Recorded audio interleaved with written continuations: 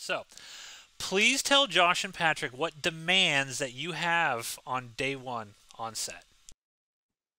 Day one, there has to be air conditioning. My demands on set directors um, are that I have bubble tea. First of all, I would like to be picked up at my house in a 20 foot black limousine, not 19 feet and 11 inches, and not 20 feet and 2 inches, 20 feet exactly, black limousine.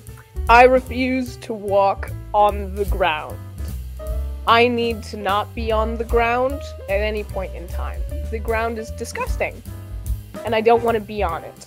I'm going to need a cheese board. Um, I would prefer imported cheese, aged Gouda, um, preferably from Trader Joe's. I would like the interior of that limousine to be 62 degrees exactly and be prepped with my breakfast smoothie and a blueberry bagel, lightly, very lightly toasted. No one can speak to me before I've had coffee. I need to have fresh coffee at all times with cream and sugar. So if I can't be on like little stilts, I will be enraged. They will have to deal with my full fury. It will be unpleasant for everybody. I, I don't want to feel grass at any point in time.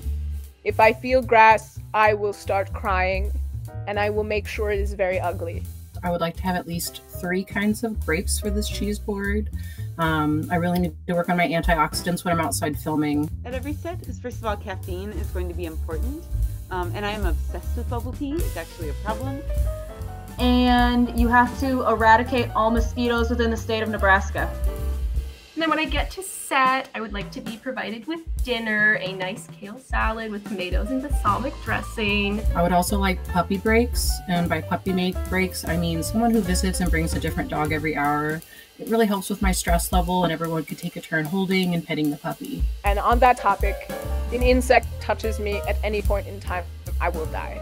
I will not explain how or why, but it is their job to make sure I am untouched by any sort of wildlife, but mostly insects.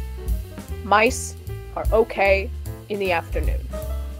Um, so there had better be caffeine of some kind there. Um, they don't drink coffee, so. And I would like to have a personal assistant to hold my phone so I can check Snapchat in between takes. And also hold my makeup bag so I can catch up. Um, if that could all be there, that would be great. Thanks.